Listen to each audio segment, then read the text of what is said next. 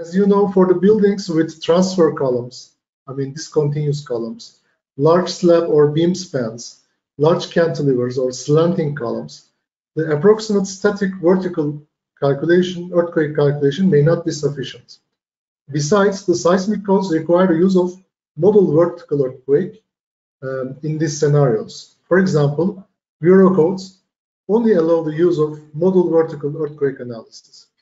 And for this purpose, we first introduced the vertical acceleration spectrum in ProtaStructure that's accessible on the seismic parameters window. A vertical spectrum uh, is also reported in pre-analysis report.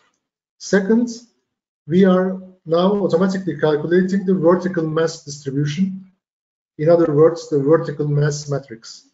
Slabs should be meshed to be able to consider the mass distribution accurately, of course.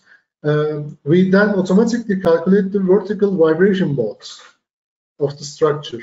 Number of modes can be customized by the user. And the analysis post-processor allow you to examine the vertical mode shapes in a detailed manner.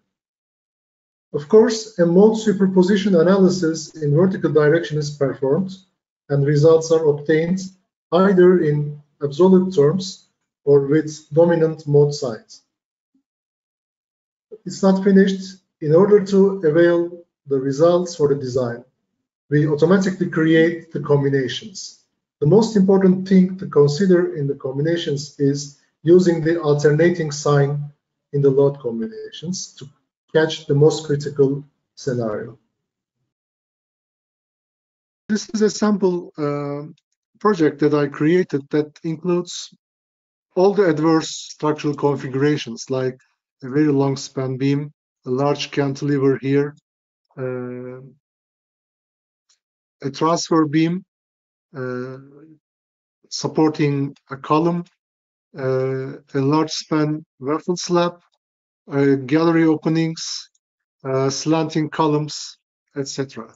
So this is a this is a very typical example for a detailed vertical earthquake calculation. So according to most of the seismic codes, uh, when you encounter such a structure, you have to, or one of the configurations in a structure, you have to uh, resort to a modal earthquake earthquake uh, analysis.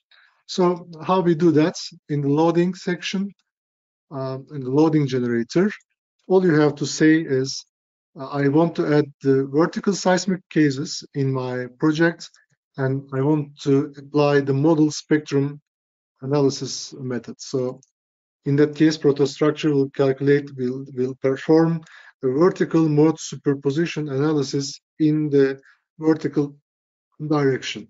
And also, if you check the, the combinations, all the vertical earthquake cases will be properly added to the combinations. For example, if you say edit, you will see that the vertical case is added with a 0.3 factor as well.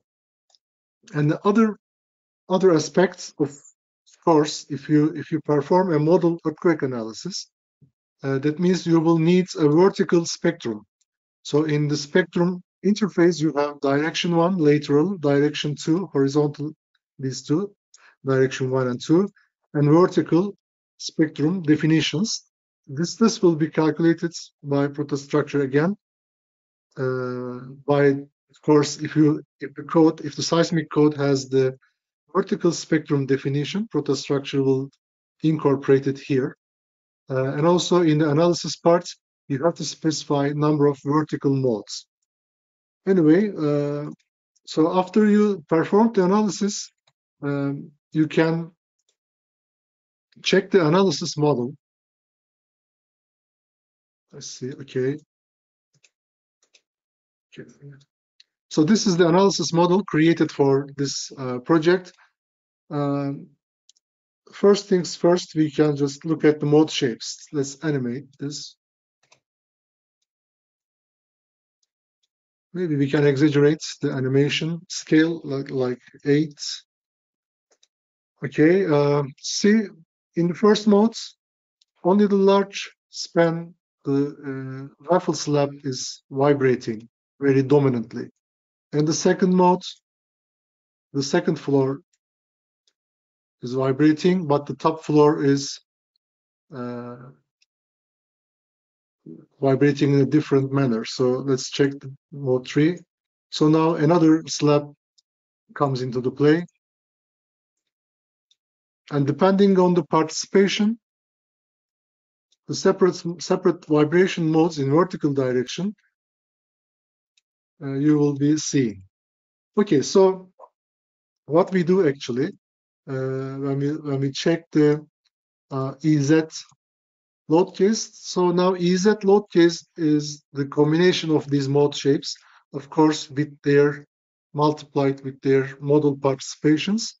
Uh, so as a result of different of these different vertical vibrations, we will be calculating a vertical earthquake effect. So let's stop this. So if, if we check, for example, the let's get rid of the labels as well and maybe displacements. Uh, let's check moments. So as you see, we have moments uh, on the members, but you, we cannot be sure about the sign because as you see, there is a lot of different vibrations in the system. So maybe one of the beams having hogging moment, another beam maybe having a sagging moment at the same time with different signs. So you cannot, in especially in mode superposition analysis, you cannot be 100% sure about the uh, sign of the members. Of course, uh, the signs are lost actually as a result of CQC analysis. So what we do here, we bring back the signs by looking at the uh, dominant mode, uh, vibration mode. Anyway, let's check the axial loads. Especially, I would expect some axial loads in the slanting columns. So yes, we have.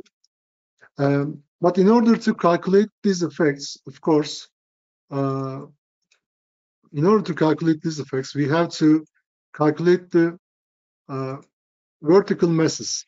So as you see, at each joint, we have calculated the vertical mass mz. So uh, mx and my are required for the lateral analysis, but mz is important uh, because you, you always have to have some mz uh, mass regardless of the horizontal analysis. And also, if you want to capture the correct behavior, we have to mesh, you have to mesh the slab uh, to get the vibration modes uh, properly. Let's see. And also for the, uh, I mean, also for the waffle slab at the intersection of the ribs, we calculate the uh, vertical masses as well.